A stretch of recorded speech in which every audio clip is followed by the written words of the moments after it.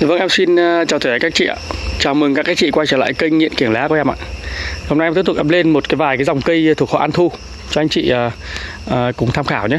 Nếu anh chị nào mà yêu thích cái dòng cây này thì có thể inbox cho em hoặc là có thể uh, nhắn tin uh, Nhắn tin cho, cho em hoặc là gọi cho em theo cái số điện thoại uh, em ghi ở phần tiêu đề nhé. Uh, Ở đây hôm nay em lên sẽ lên uh, 3 dòng. Uh, Thứ nhất là cái dòng cây uh, Anthurium Forgetti À, Forgetti thì anh chị thấy cái ờ, cây của em thì có một vài cái cây nó có những cái ờ, cái lá nó bị rách như này này. Thì ờ, hôm nay em sẽ ưu tiên lên những cái dòng cây lá nó không được không được hoàn chỉnh.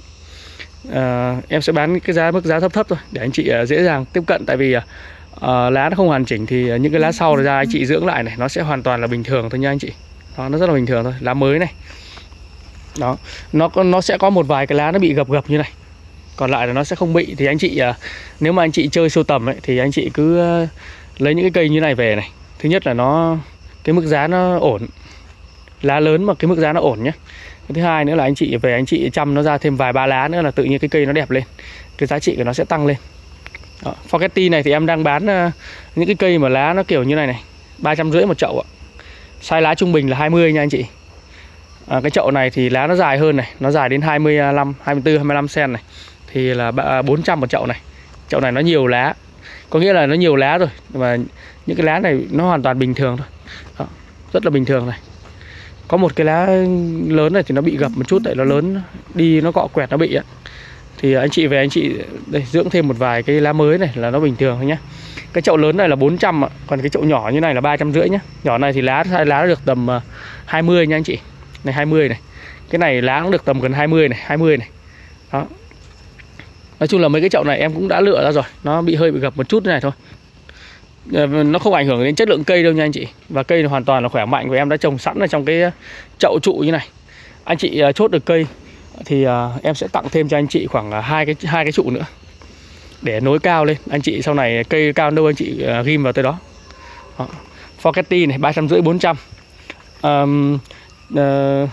Crystal này cái crystal này là cái cây ờ, thuộc ờ, cái dòng ờ, hybrid nhé có nghĩa là nó nó cũng sẽ không được cái gân của nó không được phải không phải là như cái như cái gân của mấy cái dòng đắc form hay gì đâu nha anh chị.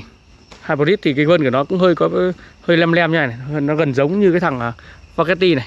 Đó. Đó gần đây. Trung bình sai lá trung bình cũng tỷ khoảng tầm 20 nha anh chị. Ở đây em cũng đang có sẵn hai cái chậu này. Chậu này những cái chậu này thì lá nó hoàn hảo này. Đó những cái chậu như này lá nào cái cây này lớn hơn này cây này cũng 400 nha anh chị. Lá này nó được khoảng 24 24 25 gì đó. Đây. Rất là hoàn hảo như này anh chị nhé. Cây thì hoàn toàn là khỏe mạnh rồi. Em à, cũng đã trồng sẵn trong những cái chậu có trụ như này. Cái lá này thì à, nhỏ hơn một chút em bán à, ba trăm rưỡi nhé. cái này thì 400 à, cái dòng này nó nó ra những cái lá mới á, thì cái tốc độ úp sai nó cực kỳ nhanh nha anh chị. Đó anh chị cứ để ý những cái lá cũ so với những cái lá mới này. Sai của nó tăng thêm à, vài ba sen là chuyện rất bình thường luôn. Rồi à, hai cái dòng này thì giá nó ngang ngang nhau. À, em lên tiếp mấy cái chậu ờ, Queen nữa.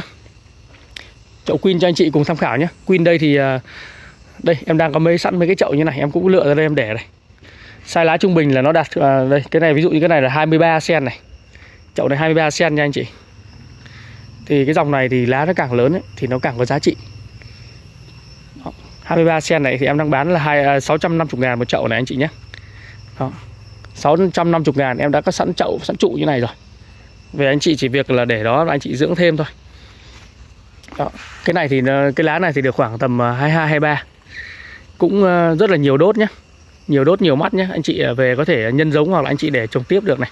650 ngàn một chậu. Còn cái chậu này thì lá nó dài hơn. Được khoảng tầm 25 26 này. Lá nó dài hơn thì cái này em bán là 700 ngàn. Đó, 700 lá mới đang chuẩn bị ra rồi này. Lá mới này đó, nó có một cái lá bị lỗi này một chút này. Anh chị nào có, có yêu thích cái dòng này thì có thể inbox cho em nhé.